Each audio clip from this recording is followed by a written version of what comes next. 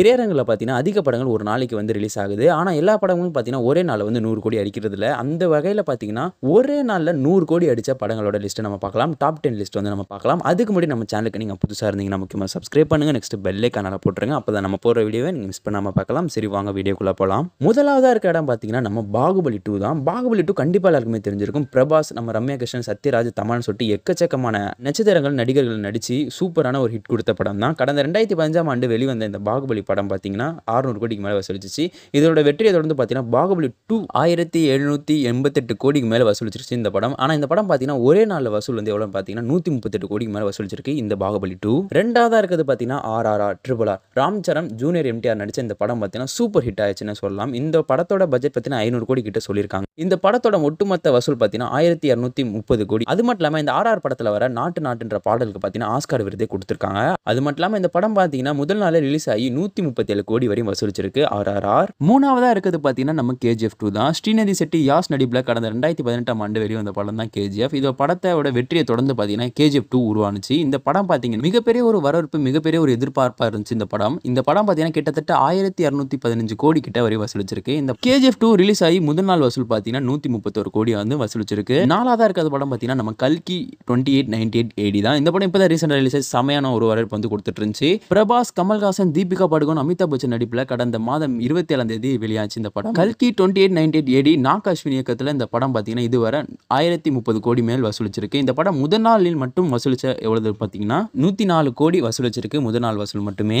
அஞ்சாவதாக இருக்கிறது சலார் படம் தான். இயக்குனர் பிரசாந்த் இயக்கத்தில் பிரபாஸ் நடிப்பில் உருவான இந்த திரைப்படம் மிகப்பெரிய எதிர்பார்ப்பு இடையே இந்த படம் வந்து வெளியாகி இருந்துச்சு இந்த படம் பார்த்தீங்கன்னா முதல் நாள் வசூல் மட்டுமே நூறு கோடி கிட்ட வசூலிச்சிருக்கு.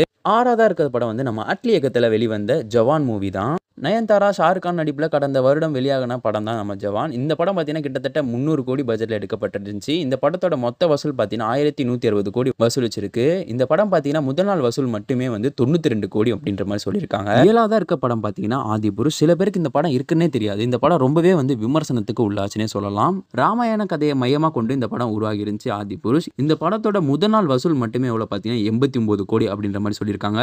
ஆனால் இந்த படத்தோட விஎஃப்எக்ஸ் அதெல்லாம் வந்து ரொம்பவே மோசமாக இருக்குன்ற மாதிரி ரொம்பவே விமர்சனத்துக்கு இந்த படம் உள்ளாகி இருந்துச்சு எட்டாவதாக இருக்க மூவி பார்த்தீங்கன்னா ஷாஹு இந்த படம் பார்த்து ரொம்பவே லேக்காக இருந்துச்சு அப்படின்ற மாதிரி நிறைய விமர்சனங்கள் வந்து கொடுத்துட்டு இருந்தாங்க. இயக்குனர் சுஜித் இயக்கத்தில் பிரபாஸ் நடிப்பில் கடந்த ரெண்டாயிரத்தி பத்தொன்பதாம் ஆண்டு வெளியான படம் தான் ஷாஹோ. இந்த இந்த படம் ரிலீஸ் ஆகி முதல் நாள் வசூல் மட்டுமே பார்த்தீங்கன்னா எண்பத்தேழு கோடி வசூலிச்சிருக்கு.